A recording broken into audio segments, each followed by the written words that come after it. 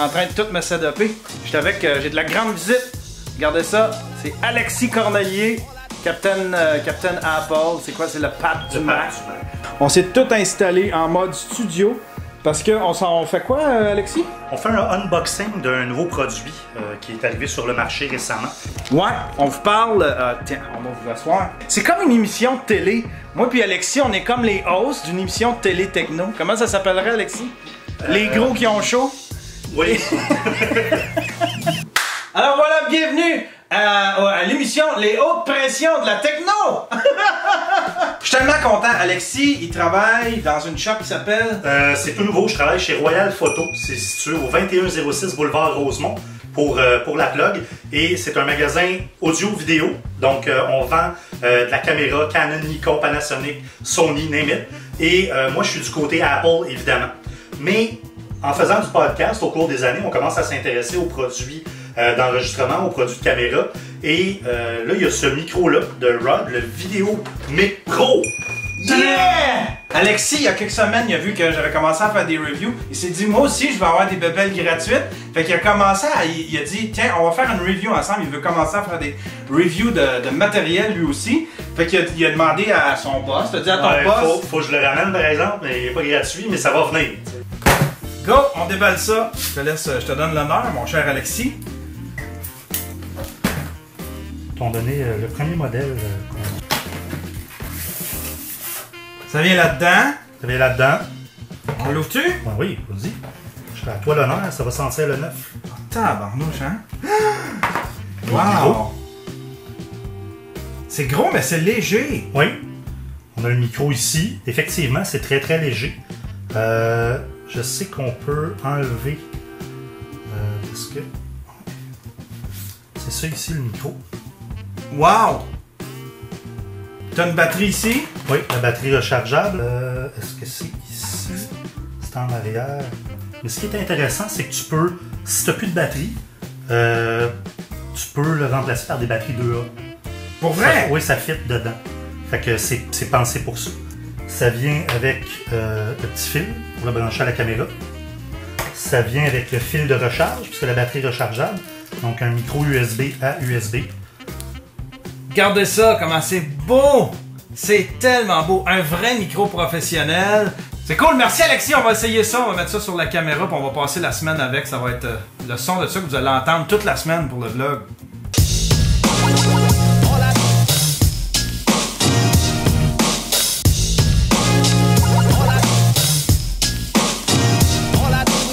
Les dimanches, je suis avec mon hormone du bonheur.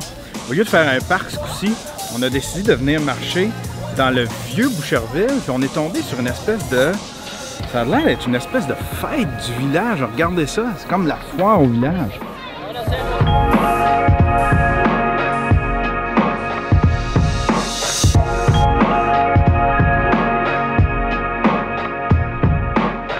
C'est tellement cool. C'est un coin que je connaissais pas, pas en tout. Le vieux Boucherville. Je pensais pas que c'était beau de même. Ça a un petit quelque chose. Il y a une belle marina. Regardez ça, la belle marina. C'est cute au bout.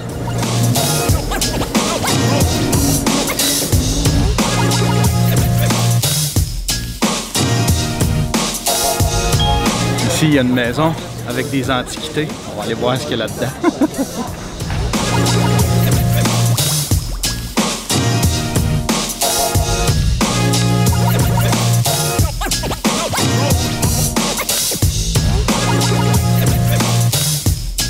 Ça, c'est fucking weird. Je, sors de la petite maison qu'il y a là. Je pensais que c'était une exposition d'objets antiques ou une espèce. C'est une vente de succession. Ils vendent les objets du monsieur. Ça fait weird de se promener dans la maison du monsieur qui est mort. Puis ils vendent ses objets. J'imagine que c'est ça qu'il faut que tu fasses, mais tu sais, pendant une foire au village.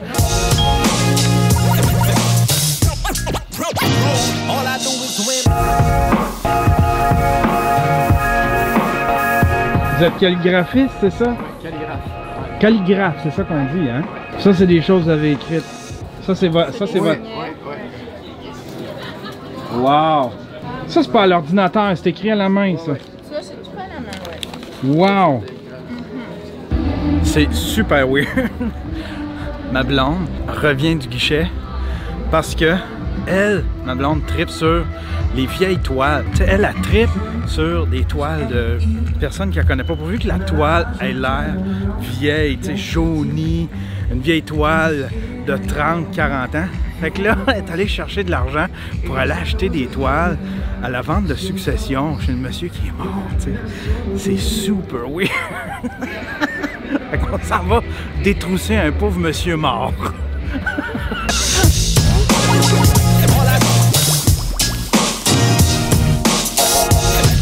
sont belles, pareil. L'artiste, c'est Gabouri, toile de 88. Celle-là, on sait pas trop quel, quel âge ça a. Elles sont vraiment belles, les toiles. Ma blonde, jette des toiles de monde qu'elle connaît pas. Elle a un chum peintre, artiste peintre. Je me sens trompé. Je sens, je- sens que infidèle, mon amour.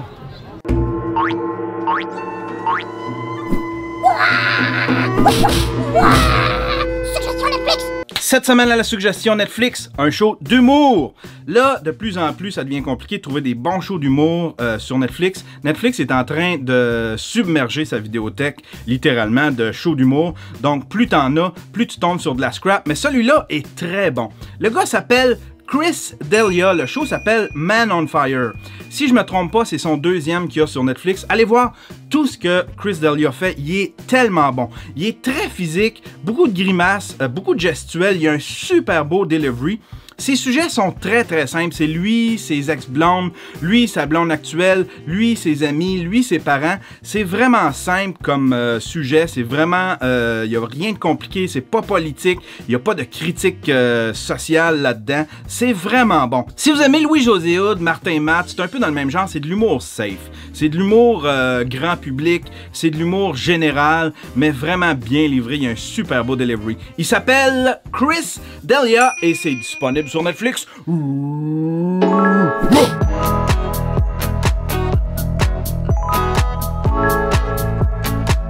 Voilà, Internet. Ouais, c'est mon mon ordinateur, c'est c'est rendu littéralement la grosse tortue de la maison. Il est plus slow que n'importe quel ordinateur que j'ai. Il fonctionne juste euh, à moitié de ses ressources. Fait que. il fait chier un peu. aïe aïe aïe, on est mardi. J'ai décidé de. J'ai décidé d'aller prendre une petite marche. Je suis un peu. euh, je commence à être claustrophobe. Ça fait un petit bout là, je cherche mes clés.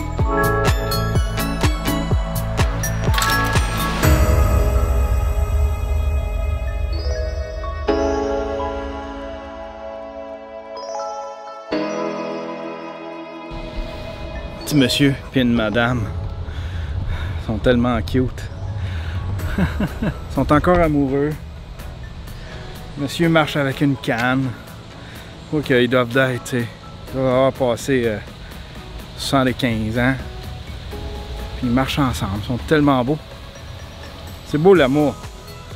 Ça fait à peu près trois semaines que j'ai pas pris le temps de, de venir. Ah, il y a du vent. Ça va être bon ça, ça va me permettre de voir s'il y a du, y a du vent dans le micro. Ça fait trois semaines que j'ai pas pris le temps de sortir un petit peu de la maison. Je suis resté en cabané. J'étais en train de. Oh mon dieu!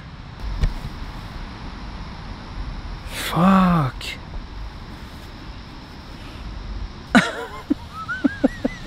Faut que je m'en retourne chez nous avec ça. Gros trou dans les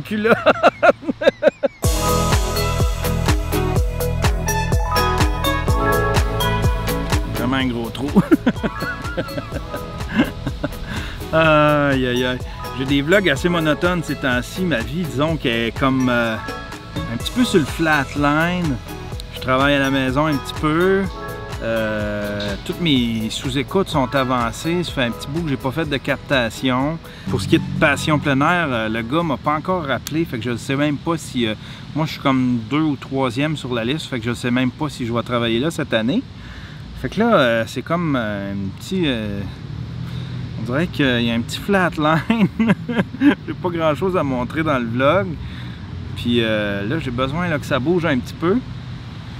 Surtout que ça rend les fins de mois un petit peu plus difficiles. Toujours est-il que j'en ai profité pour pour faire des backups de mes affaires, des backups du disque dur de mon laptop, des backups de tout ce que, tout ce que j'ai tourné pour le vlog, euh, des backups des photos de famille. Je suis tellement paranoïaque que je dois avoir mes backups sur à peu près 15 disques. Puis aussi, j'en profite, j'ai pris une commande. C'est rare que je fais ça.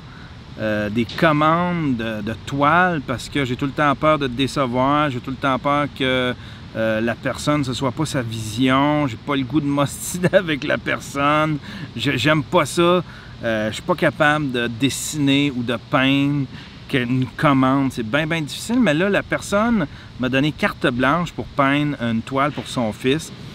Puis c'est surtout que son fils il tripe sur les super-héros puis Star Wars. Puis il m'a donné carte blanche. Fait qu'à partir de là, je me suis dit, OK, je prends la chance, je vais prendre une commande. Fait que c'est une des premières commandes officielles, si on veut, pour une toile. Fait qu'il y a ça que j'ai commencé. J'ai commencé à gribouiller des idées.